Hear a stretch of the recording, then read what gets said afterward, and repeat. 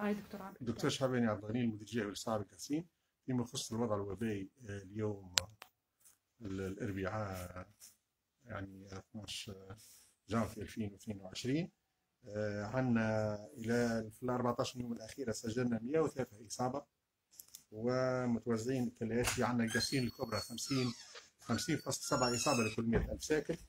حسن الفريد صفر صفر إصابة. سبيت 15.1 إصابة لكل 100 ألف ساكن وسبيب 4.9 إصابة لكل 100 ألف ساكن. جدليان والعيون صفر حالة.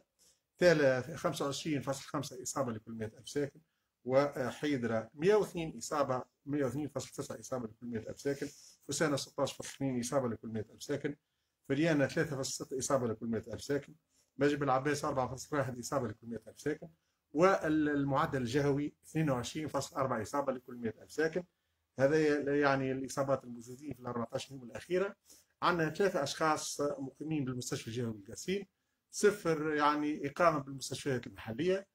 وهذا آه، في عندنا بعض الإصابات في المدارس وتم غلق قسم في مدرسة آه، يعني في في ولاية القصيم تم غلقها ويعني إن شاء الله بعد 10 أيام يرجع القسم هذا مش غلق هم القسم هذا تم غلقه وإن شاء الله بعد آه، سبع أيام يستنفوا الدراسة.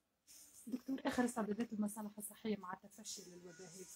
إحنا عندنا فرق عندنا فرق قاعدة توكينا يعني آه، مع بالتنسيق مع التجارة بالتنسيق مع المؤسسة الأمنية آه، قاعدة تراقب في الفضاءات العمومية ويخرجوا يوميا فرق مشتركة للتثبت من يعني الاستظهار بجواز التلقيح مدى احترام يعني البروتوكول الصحي في الفضاءات العمومية وفي الإدارات الجهويه وفي المؤسسات العمومية الكل وهم على عين المكان وقاعدين إذا كان ثم مخالفات باش نرفعها إلى إلى على مستوى مركزي. على مستوى المرافق الصحية بالنسبة على مستوى المرافق الصحية نحن تم يعني عقد العديد من الجلسات بال يعني الإطار الطبي والشبه الطبي والإداريين وللتحضير إلى لا قدر الله باش تكون عندنا أعداد كبيرة اللي هو اقامه يعني المرضى لا قدر الله في المستشفيات المحلية وبدينا نحضروا فهو إحنا والأقسام جاهزة ولا يعني الكميات الأكسجين ومكثفات الأكسجين كذلك